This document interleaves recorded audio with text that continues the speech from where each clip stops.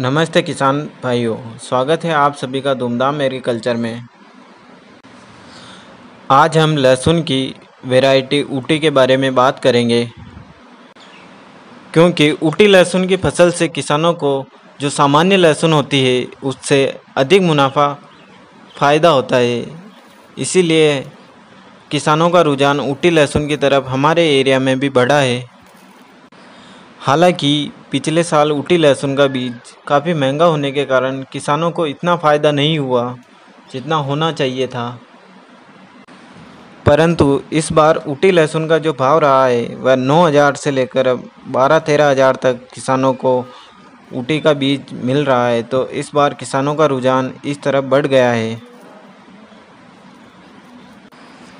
अब हम ऊटी लहसुन की बुआई के बारे में बात करें तो इसकी बुआई सितंबर महीने में शुरू हो जाती है। इसके स्टार्टिंग फ़र्स्ट वीक से ही इसकी बुआई करना लोग शुरू कर देते हैं। बुआई है जो सितंबर महीने में शुरू होती है, परंतु किसानों को बीज 15 से 20 दिन पहले ही खरीद ले, लेना पड़ता है, क्योंकि इस बीज बीज जब खरीदते हैं तो वह क्या गीला रहता है, उसे 10-15 दिन कम से कम सुखाना ही पड़ता है, तब जाकर वह तैयार होता है।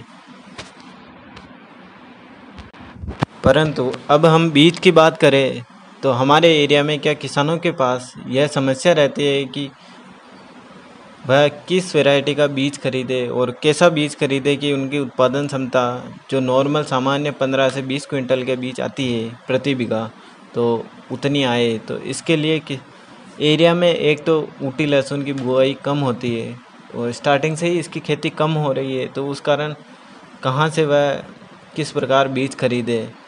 तो इसके लिए तो इसके लिए मैं बताना चाहता हूँ कि मैं पिछले तीन साल से ऊटी लहसुन की खेती कर रहा हूँ। तो इसके आधार पर मैं अपना एक्सपीरियंस आपको बताना चाहता हूँ कि आपको किस प्रकार का बीज खरीदना चाहिए और बीज कितने तक आपको किस रेट में और कहाँ से मिल सकता है, इसकी जानकारी भी आपको दूँगा। अब हम ऊटी के बीज के मात्रा की बात करें कि किसानों को कितने एक बीघा के लिए कितना ऊटी का बीज लेना पड़ता है? तो वह उसकी साइज़ पर डिपेंड करता है कि हम किस साइज़ का माल ले रहे हैं।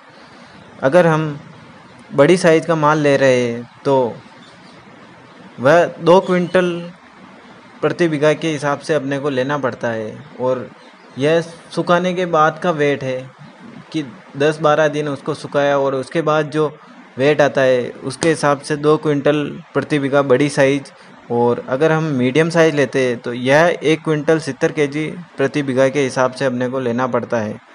और यह सूखा हुआ माल की है कि दस से बारह दिन इसको सुखाने के बाद जो वेट रहता है, उस हिसाब से हमने को बीज प्रति बीघा चाहिए।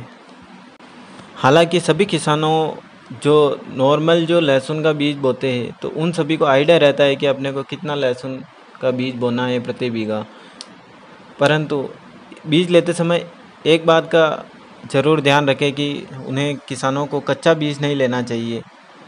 क्यों? और कच्चा बीज जो आता है तो वह क्या अपन जिस टाइम लेते हैं, उसी टाइम कट्टे में से बदबू मारता है या फिर उसमें से हरी कलियाँ निकलती है, यह उसकी पहचान होती है। तो आप बीज लेते समय इस बात का ध्यान रखें कि कच्चा बीज नहीं होना चाहिए।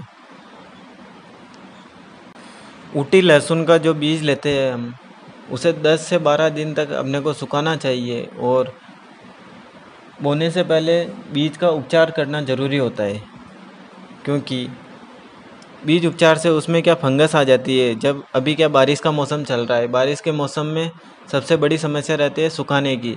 अगर अपन सुखाते हैं तो उसमें क्या फंगस लग जाती है? तो उस फंगस को हटाने के लिए कई दवाइयाँ भी आती है मार्केट में तो हमें बीज उपचार करना चाहिए बोने से पहले।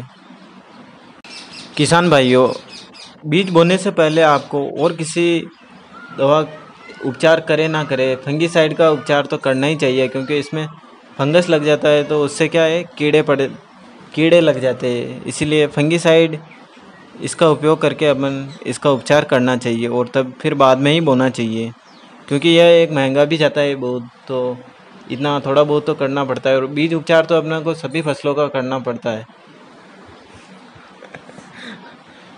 और अधिक जानकारी के लिए हमारे वीडियो को लाइक करें और चैनल को सब्सक्राइब करें।